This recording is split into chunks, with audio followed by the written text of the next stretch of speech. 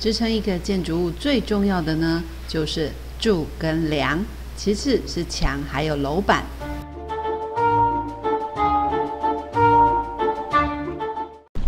嗨，大家好，呃，今天又来出外景了。以前有一次我有遇到一个客人，啊、我听到他跟建筑师在讨论的时候，他在讨论就是我的柱子呢要在外面，还是说我的柱子要在里面？那我就会觉得，哦，原来在设计的时候啊，就会有那种要思考到说，我的柱子到底是要靠近外面还是靠近里面呢？那我于是我就认真的观察一下我们现在办公室的住家，就会发现，哇塞，我所有的梁柱都在里面呢。所以今天就要请建筑师来跟我们讲一下，就是关于，呃，在设计上呢，呃，梁柱这除了结构支撑的安全以外，它还富含了哪一些意义呢？建筑师请。基本上，呃，以现在设计的逻辑来讲，哈，结构外露通常是，呃，是因为业主想要更大的楼地板面积，还有他不想要室内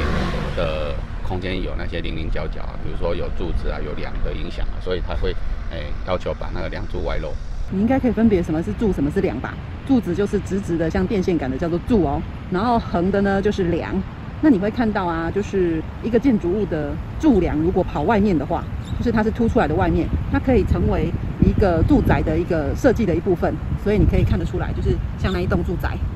它就会把它的柱梁配色起来，成为它外观设计的一部分。它会把梁柱露在外面，反正我寻求我室内面积最大化，因为我们知道，呃，室内我们在算它的面积是用墙墙的中心线去算嘛，所以你把墙往里面缩，柱子往外退，你的楼地板面积就可以达到最大化啊。然后那些柱梁、呃柱子跟梁的空间影响都在你的外面，所以不你丑的东西在外面，但是它里面的空间可以达到最佳化的情形使用。可是现在啊，因为建筑物就像一个一个类似艺术品嘛，所以你必须要，我们现在设计的逻辑是，呃，透过你的呃在设计这个呃艺术品的概念，把一些你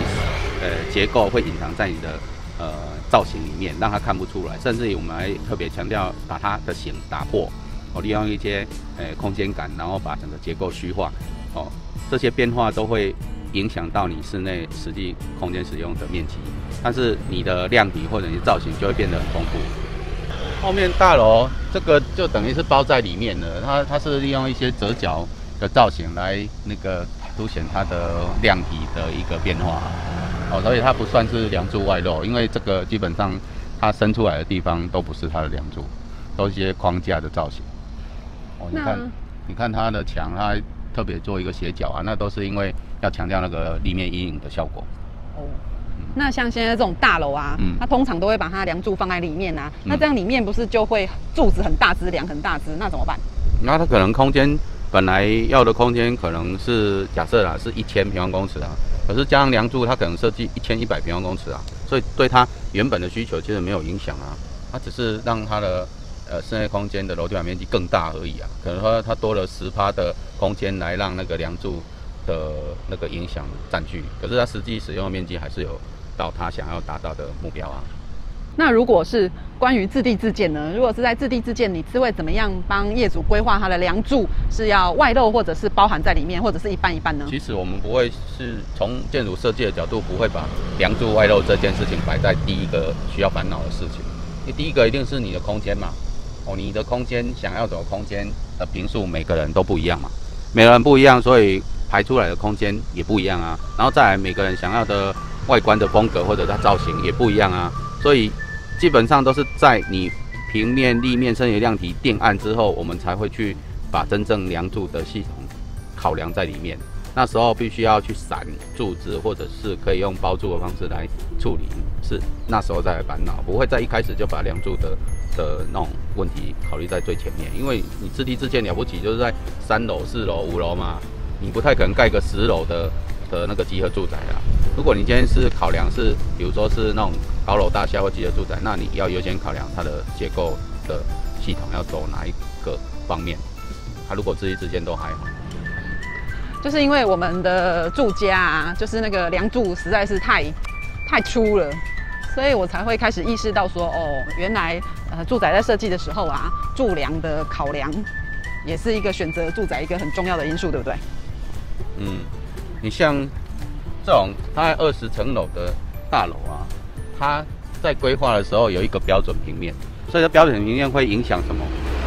第一个，你的地下停车位你要怎么走？因为你柱子一放上去，你就是必须要呃利用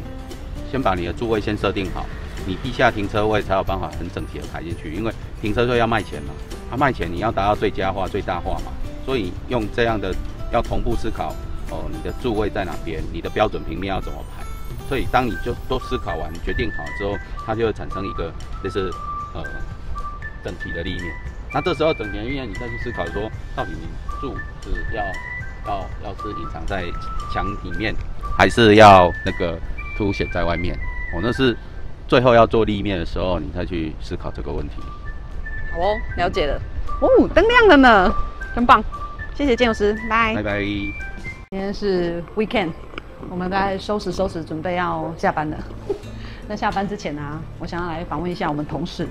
就是我记得啊，就是我刚进到这个行业的时候啊，然后我就开始先学使用软体。那使用软体呢，我们就是画一个简单的建筑物。那从做中学嘛，就是画一个建筑物，然后呃顺便练一下就是 CAD 画图的时候的工具使用。那这时候呢，就是开始先画墙壁，然后再画柱子。那于是呢，呃柱柱子跟墙壁呢，我就问建筑师说，呃那个墙壁为什么要画十五公分？就是外墙为什么要画十五公分？然后内墙为什么要画十二公分？然后还有柱子，那柱子有的是正方形的，有的是长方形的，为什么呢？这对一个门外汉来讲啊，其实是一个呃很多疑惑，就是说应该是还是因为只有我这样子，就是有的人可能就是叫你画什么就画什么，可是对我而言呢、我就会一直问说为什么是十二或者是十五？我想是应该是长时间累积下来，人家研究出来的数据就是这样。结构在设定的尺寸上面，我们通常以柱子会用四十乘六十的尺寸，然后外墙用十五公分，内墙用十二公分来作为一个呃基本的设计的一个概念，产生一个大概的图面来跟业主做讨论。在学校老师是有教你墙跟柱子要画多少吗？有讲过一点点，所以老在学校老师是教你墙要画多厚，好像也是十五，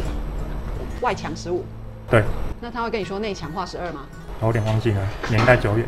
那柱子呢？柱子都叫你画多少？没有讲到那么细的，哦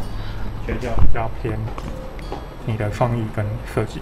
哦，对对对对对，就是哎，我昨天问建筑师的时候，建筑师也是跟我这样讲的。建筑师说，他们以前在学校学的时候啊，老师也没有告诉你说柱子要画多粗，然后墙壁要画多粗。那我们再问我们另外一个同事，请问你 CAD 是学校学的吗？嗯，对啊，学校学的。老师有教你墙跟柱要画多大吗？嗯，他会大概建建议你建议你一下而已，就是哦建议尺寸。那你会知道那个墙跟柱子要画多大是从哪边来？嗯，这个部分就是要等工作之后才比较了解。哦，嗯，那所以你会不会知道，哎、楼层要盖多高，然后柱子要变多大？它有没有一个比例？在学校的时候就比较不清楚这一块。嗯，那所以你来事务所工作之后才开始知道要画多大吗？就是大概会抓个尺寸，然后再请结构技师去分析，看这样是否可以。所以就是你的建筑物啊，不是说建筑师赋予你说他要画多大就是多大，这中间还有一个很精密的计算的人叫做结构技师，这样你懂了吗？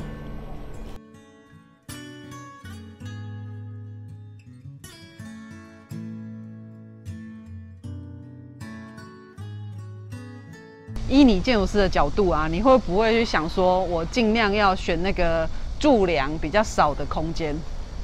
如果有机会，我会啊。但是很多消费者他其实看不懂